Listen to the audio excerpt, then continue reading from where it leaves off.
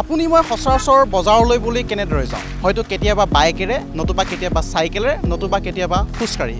কিন্তু আমি আজি এনে এটা পৰিৱেশ দেখুৱাম যিটো পৰিৱেশ হৈছে মহানগৰীত মহানগৰীত এতিয়াও এনে এটা পৰিয়াল আছে যি পৰিয়ালে বজাৰলৈ বুলি ব্যৱহাৰ কৰে ঘোঁৰা।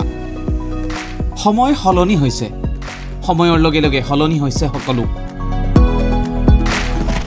আজিৰ পৰা পঞ্চাছ বছৰ আগলৈকে যুদ্ধ বিগ্ৰহ ঘূৰণ ফুৰণ এখন ঠাইৰ পৰা আন এখন ঠাইলৈ সামগ্ৰী কঢ়িওৱা আদি বিভিন্ন কামত ব্যৱহাৰ হৈছিল দ্ৰুতবেগী ঘোঁৰা।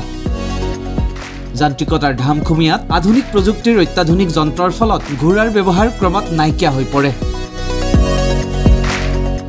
পিছে এই জন্তুবিধ আজিও ব্যৱহাৰ কৰি আহিছে গুৱাহাটী মহানগৰীৰ এটা পৰিয়ালে। মহানগৰীৰ হাতীগাঁওস্থিত সিজুবাৰীৰ খলিলুৰ ৰহমান খান নামৰ ব্যক্তিজনে আজিও ঘৰতে পুহিছে ঘোঁৰা। মই বহুত সৰুৰ পৰা মোৰ চখ ৰাখোঁ। আৰু এনে এইটো লৈ ক'ৰবাত ক'ৰবাত যাই থাকোঁ বহুত দূৰলৈ যাওঁ কেতিয়াবা। ঘূৰা ফুৰা বজাৰ সমাৰ কৰিবলৈ ব্যক্তিজনে ব্যৱহাৰ কৰে মুতি নামৰ এই ঘোঁৰাটো। কেৱল খলিলুৰ ৰহমানেই নহয় পৰিয়ালৰ আন আন সদস্যসকলেও ব্যৱহাৰ কৰে এই পোহনীয়া ঘোঁৰাটো। ঘোঁৰাৰ প্ৰতি থকা আকৰ্ষণ আৰু ঘোঁৰা পালনৰ প্ৰবল ইচ্ছা থকাৰ বাবেই এনেদৰে ঘৰতেই বছৰৰ পাছত বছৰ ধৰি খলিলুৰে পুহিছে ঘোঁৰাটো। প্ৰিন্সিপালত যাই থাকোঁ। কিবা বজাৰ কৰিব গ'লেও ঘোঁৰা লৈ গৈছিলোঁ।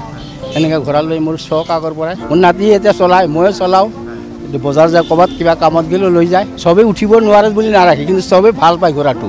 মই ভাল পাওঁ সেইকাৰণে ৰাখিছোঁ। মতি মতি বুলি মাতোঁ। ঘোঁৰাৰ পিঠিত উঠি কেতিয়াবা যদি গৈছে বজাৰলৈ আন কেতিয়াবা আকৌ গৈছে ফুৰিবলৈ। ঘোঁৰাত উঠি নিতৌ এনেদৰে বজাৰ সমাৰ কৰিবলৈ অহা দৃশ্যই আকৰ্ষিত কৰিছে মহানগৰবাসীক।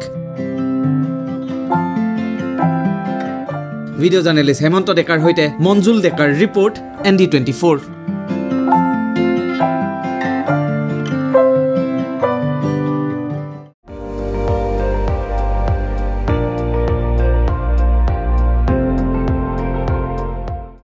আপুনি চাই আছে এন ডি টুৱেণ্টি ফ'ৰ সৰ্বশ্ৰেষ্ঠ নহয় সৰ্বোত্তমৰ দৌৰ।